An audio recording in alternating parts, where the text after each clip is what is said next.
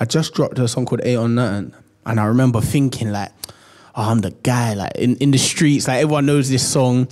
And then we had a show. I think it was was it Cardiff. I think it was in Cardiff.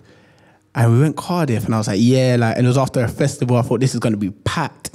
There was like ten people there, and that was a big reality check. Like, do you know what? I'm not as sick as I think I am. Do you know what I mean? Like, uh, in Cardiff, some people don't want to see me today. Do you know what I mean? And but do you know what? I'm blessed for that to happen because now if I go and do a show and there's 20 people there, I'm comfortable to go and do it and still give a great performance. Do you know what I mean?